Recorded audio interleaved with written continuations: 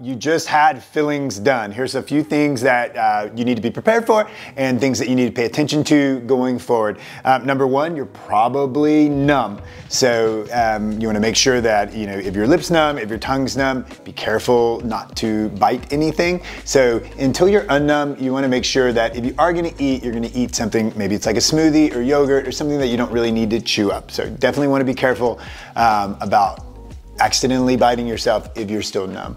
Uh, number two, it's very normal for things to be sore afterwards. You've probably had your mouth open a decent amount of time. If things are sore, that's normal and it's okay. Go ahead and take some Advil um, or Tylenol or whatever your preference is and totally normal if you need to do that. Third, um, absolutely okay if these teeth are hypersensitive to cold and heat. Very normal after teeth have been worked on. Teeth are living things with nerves in them. So um, when they get worked on, it's normal for them for a short period of time to be hypersensitive to cold and heat. So if you drink ice water and those teeth are more sensitive than the rest of your teeth, that's totally normal. That will resolve with time. Sometimes that only lasts for a couple days. Sometimes it might be a couple weeks to where they're more hypersensitive, but hypersensitivity afterward is normal.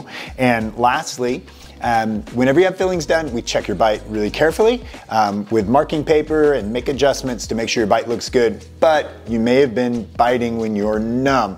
And if that's the case, sometimes it's not exactly like your real bite is, and sometimes it's necessary if the bite doesn't feel like it kind of normalizes and settles in for us to need to check it and make small adjustments. And if we need to do that, it's totally fine, totally normal. Just let us know we can do it. If you have any questions or if there's anything else that needs clarification, please let us know. We'd be super happy to talk to you about anything or talk to you, talk you through anything. Um, just let us know.